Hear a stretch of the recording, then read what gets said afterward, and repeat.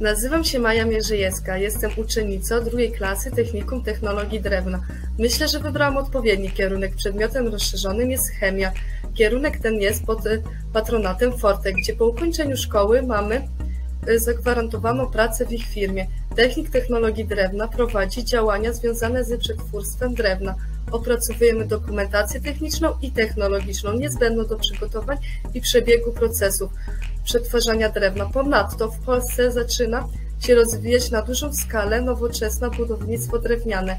Zarobki w branży drewnianej zwykle znacznie przekraczają średnią krajowe. Technik technologii drewna to atrakcyjny zawód.